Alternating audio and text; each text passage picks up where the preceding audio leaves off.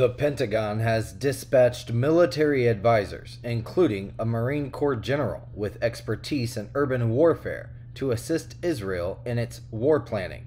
In addition, multiple advanced air defense systems are being expedited to the Middle East in anticipation of a ground assault on Gaza.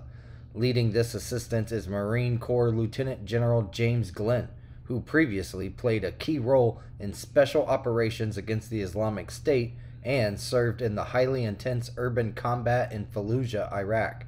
This information comes from a U.S. official who spoke on the condition of anonymity, as they are not authorized to discuss Glynn's involvement, the Associated Press is reporting. Lieutenant General Glynn will also provide guidance on minimizing civilian casualties in urban warfare. Israel is preparing for a large scale ground operation in an environment where Hamas militants have spent years preparing tunnel networks and strategically placing traps within the densely populated urban areas of northern Gaza.